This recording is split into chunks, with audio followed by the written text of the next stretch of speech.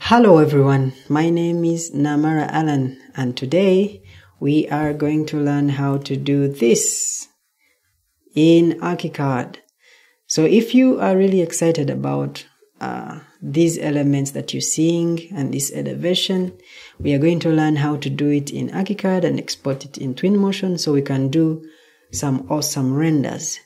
So please stick around and subscribe to the channel and we get on to it. Now, Archicad is a 3D modeling software that is widely used by architects and uh, other planning disciplines, and that's because uh, the interface within Archicad is uh, more customized to the built environment. But anyone else who is interested in 3D visualization can actually take it up and use it um, because in the end it's it's a tool. And for as as long as you know how to use a tool you can always you know pick it up when it is necessary. So today we are going to begin uh, by learning the interface in Archicad and uh, such that we are all on the same page and then we are going to import a PDF which I have attached in the description below please check it out download it if you want to follow along with these tutorials. Uh, so we will import it in and then explode it and uh, use it as a reference. So for now, we have to learn the interface. So this is what you're presented with in Archicad. And um, to the topmost, you have the Archicad logo, and after that, you have the project name, which is currently untitled. Then you have the version of Archicad you're using. In this case, it's 23. Uh, and then you will have the menu bar after that. Now, the menu bar will contain most of the things that you will be using in this interface. And uh, it runs from file to help. Then after the menu bar, you are, are presented with the standard toolbar, which you can find in Window Toolbars Standard. Notice when I click it, it disappears. And when I go back, toolbars, there it is.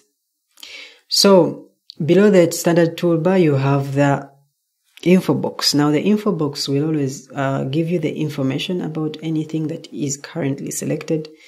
If I select this cursor here, you will find the different properties uh, on how to use the cursor. And then you have the Marquee tool, you have the wall tool, you have the door tool, and the rest, like you will see them. And by the way, if you do not have uh, this tool here, which is the toolbox, uh, please come to window and go to palettes and then you have toolbox. Now it disappears. When I go back, palettes, toolbox, there it is.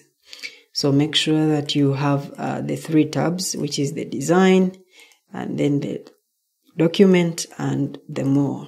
Now in the design is where you have the different tools that we shall be using and in the document is where you have the 2D version like the wording, uh, you have the dimensions and all that. And then in the more is where you will find uh, the splines and the camera and all that. To the right, you will be presented with the navigator pane. Now, this navigator pane can be found in Windows, Palettes Navigator. Great. And if you want it, you can go back, but also you can click here. Uh, when you have clicked there, then uh, you will see the navigator here, but when you click out, it disappears. So after clicking here, you might want to right click and say navigator in order to have it embedded at the left hand corner.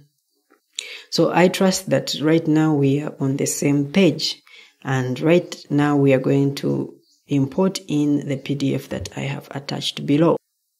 So once you have found your PDF, wherever it may be, uh, you want to uh, drag it you want to drag it and drop it there. Just left click and drag to drop to the to the ArchiCAD. And uh, current there are two pages, so you want you to select the first page and place it.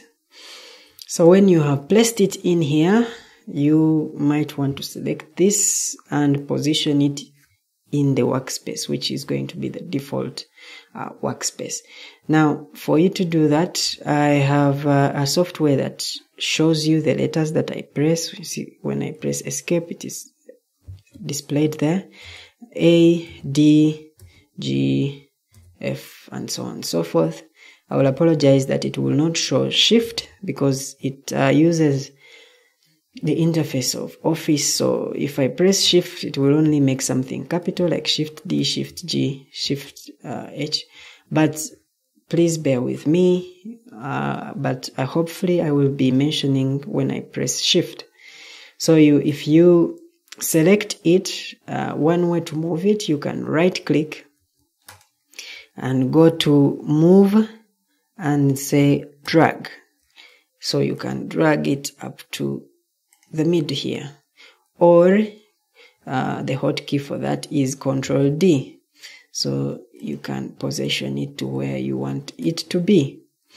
So uh, right now we, we want to explode. So you will select this and right click select explode into current view and say okay to the pen attributes that have been presented and there we are so you want to, to click out and then click again inside and then you delete the background such that right now we have lines that are presented to us. Now these lines are currently grouped and you can uh, temporarily ungroup them by clicking on this suspend group icon. So when you have clicked there and it is highlighted, you notice anything that I click will be separate from one to another. So when you have uh, exploded it into the current view, you want to resize it because usually PDFs will always distort the scale. So how do you resize? Uh, you, there's an icon for resizing, which is here, which is not highlighted, but when I when we select this by hovering over the all of it. So you want to click here and move along, even if you don't drag, but just move uh, the, the mouse across. And now you have this selected. Sorry about that. You have this selected. So when it is selected, you want to select this resize or control K, the hotkey. For now, I will select control K I say OK to these properties, then I zoom in to the first point.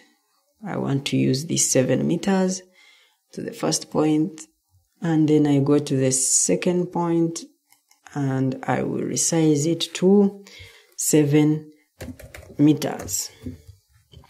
And by the way, I'm currently using uh, millimeters. If you happen to be using any other meters, so let's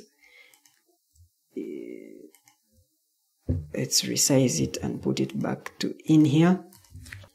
If you want to change uh, the units that are currently being used you might want to go to options project attributes project preferences and you change to working units to any of these options that you are provided with depending on where you, the ones you're comfortable with.